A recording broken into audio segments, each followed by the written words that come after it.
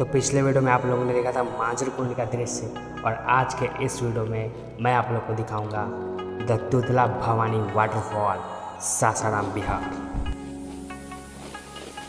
तो जिस प्रकार पिछले वीडियो में, यानी कि मांझर कुंड वाले वीडियो में आप लोगों ने जितना प्यार दिखाया, आशा करते हैं कि इस वीडियो में भी आप लोग उतना ही प्यार दिखाएँ बिहार। बात जब बिहार की आती है तो लोगों के मन में बस एक ही सवाल आता है कि बिहार में क्या है? तो आज के इस वीडियो के ज़रिए मैं उन सभी को ये दिखाना चाहता हूँ कि बिहार में आखिर क्या है। तो वीडियो पूरा ज़रूर देखिए।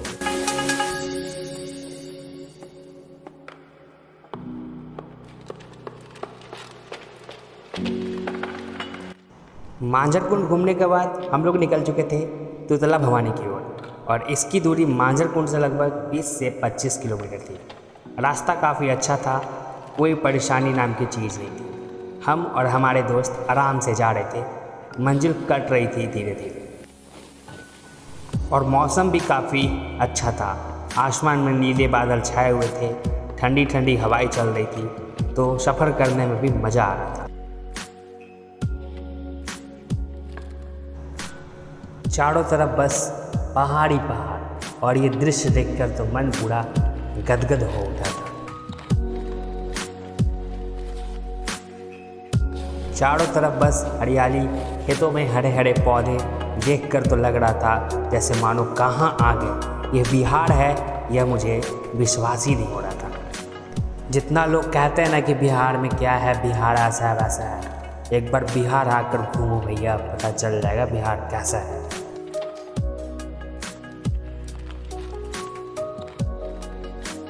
हम लोग अभी आ गए तुतला भवानी, जैसा कि आप लोग को बोले थे। तो अभी हम तुतला भवानी के पास हैं। अभी झरना के पास नहीं गए हैं। झरना को जूम करके थोड़ा देखते हैं। वो जो आप देख रहे हैं, वो वही झरना है, तुतला भवानी का। अभी नज़दीक से आपको जाके दिखाएँगे। बाकी आप अभी इधर का व्यू देखिए। कितना तगड़ा वाला व्यू है भाई साहब। और गाड़ी, खजाना। बहुत सारी गाड़ियाँ, बहुत सारे लोग यहाँ पे आए हुए हैं।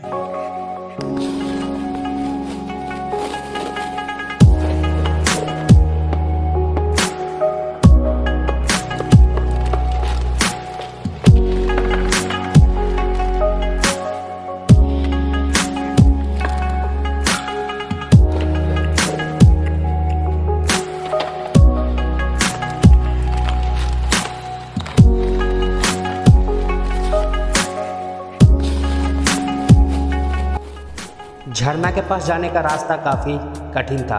छोटे छोटे पत्थरों पे चढ़ चढ़ कर जाना पड़ता था, वो भी संभल के, क्योंकि पत्थर पे जो है वो ना काई लगा रहता है। अब काई तो आप लोग समझती होगी कि क्या होता है। तो संभल संभल कर पैर रखना पड़ता था और आगे बढ़ना पड़ता था, क्योंकि इधर का रास्ता जो है वो पत्थर वाला ही रास्ता था।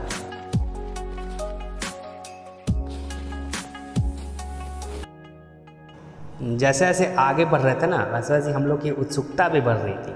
लग रहा था कब झरने के पास जाएँ, कब झरने के पास जाएँ। और झरना का जो आवाज़ था ना, वो कानों में अभी तक गूंज रही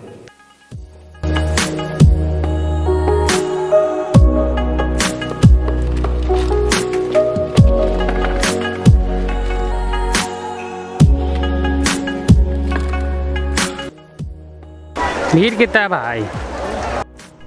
और मांझर कुंड के जैसा यहाँ पे भी काफ़ी भीड़ था, लेकिन मांझर कुंड से ज़्यादा भीड़ था।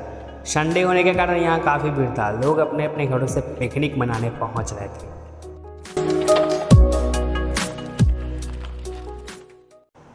अब यहाँ से शुरू होगा असली मज़ा तो वीडियो को पूरा ज़रूर देखिएगा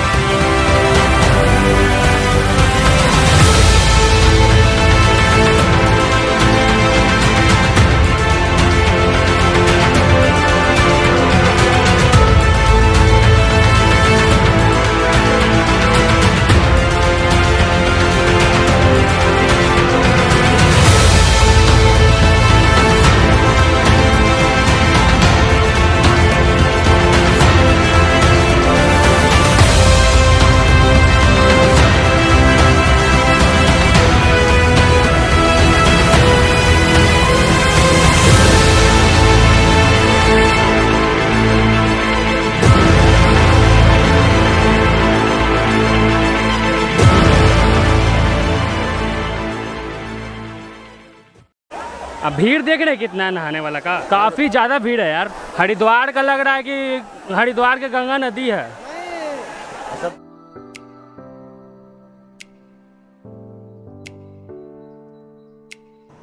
नहाने का तो नहा लिए, झरना का मज़ा भी ले लिए, लेकिन बाद में जो गर्मी पड़नी शुरू हुई, हम लोग को इस हालत में लेके आ गई हम लोग को तौलिया रख के अपने सर को बचाना पड़ा, अपने आप को बचाना पड़ा, क्योंकि तो गर्मी काफ़ी ज़्यादा बढ़ गई थी। और नहाना ना नहाना सब बराबर हो चुका था। लग ही नहीं रहा था कि हम लोग झरने में से नहा के आए हैं इतने ठंडे पानी में से नहा के आए हैं क्योंकि तो गर्मी इतना ज़्यादा पड़ने लगी थी। पूरा पसीना टपक रहा था।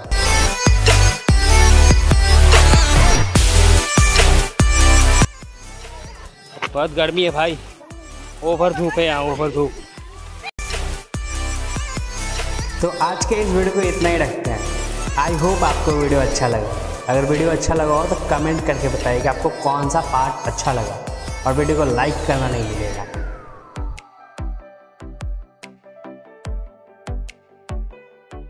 और अगर आप मेरे चैनल पर नए आए हैं तो चैनल को सब्सक्राइब तो कर ही दीजिएगा। और वीडियो उन लोगों को शेयर कीजिए जो लोग आपसे कहते हैं कि बिहार में आखिर है ही क्या। उनको ये वीडियो शेयर करके दिखा दीजिए कि बिहार में क्या है।